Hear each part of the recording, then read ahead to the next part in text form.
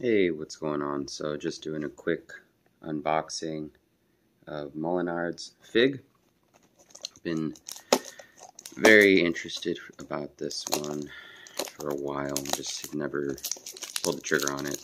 And, decided it was time.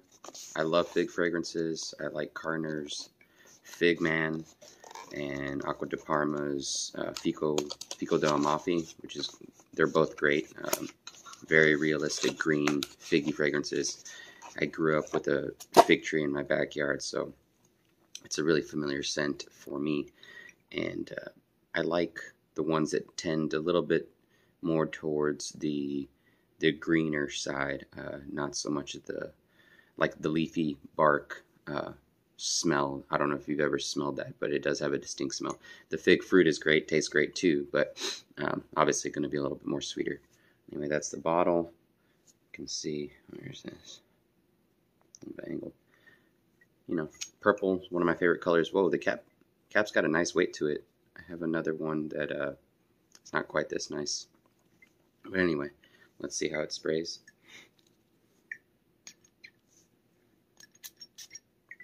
Decent sprayer, kind of cheap actually, but it's 45 bucks.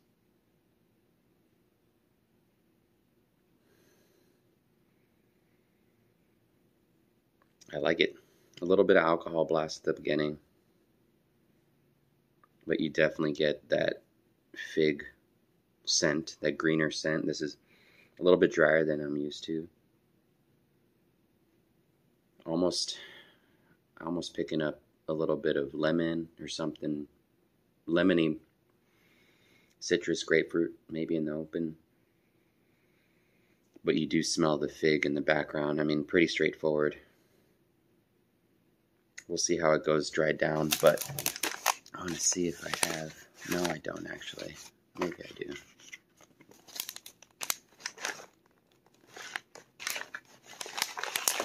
Second, bear with me. I thought I might have Carner's sample by my side, but it doesn't look like I do. No, I don't. Oh well. Anyway, thanks for tuning in.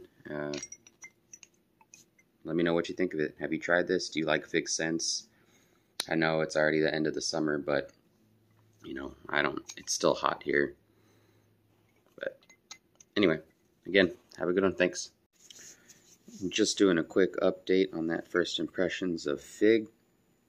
So worn this a couple times, and uh, gotta say, really enjoyed it. And I you know, I've tried, a, like I mentioned earlier, a few fig uh, fragrances, and out of the ones that I have tried, this is probably tops as far as value, performance, just overall scent for me. You know, I, I, I, you know, hands down, I would choose this over, let's say, like Carner, the Figman, or Fico d'Amalfi, or even Dune by Dior. All of those are great fig fragrances, but I think that the price for me is a little bit inhibitive because you're paying about double. This guy was like 45 bucks, I think, with tax. You can find it for 50, between 45 and 50 dollars, right? So uh, the other ones are Dunes about 75, 80 bucks. Carner is about 100, 110. Sometimes you can find it gray market 90. Uh, so, and then Fico del d'Amalfi is also relatively priced uh, because you do get a bigger bottle and it is around the $80 price range. I think it's a 4.2, but it's still uh, the performance on that one is lacking in my opinion. It does smell more natural and it is going to be, you know, a like I said, just an overall little bit more pleasant. This is a little bit pungent and sharp to the nose with the with the opening. You know, some people say it's bergamot. I didn't really get to bergamot. I got more of a, a lemon, uh, really sharp lemon. And also, some people say grapefruit. Not to my nose, but in any case, it's a sharp citrus note at the beginning, but and there's a little bit of alcohol associated with that, but it quickly dries down and almost it leans a little bit into the coconut range, right? So fig does tend to sometimes give this coconut vibe. This one will give you a little bit of that vibe, but it's not heavy, heavy uh, creamy coconut that's some of the other ones do. You know, um, if you are looking for a little bit more natural, I would say go Fico del Amalfi. Uh, if you want to spend a little bit more, I think out of all of them, my favorite is Cardinal Figman. But again, price aside, I would pick that one. But for me, as you probably know if you're watching my channel, I'm a little bit more price conscious with what I purchase. And this, it's tough to beat. So get your nose on it if you can.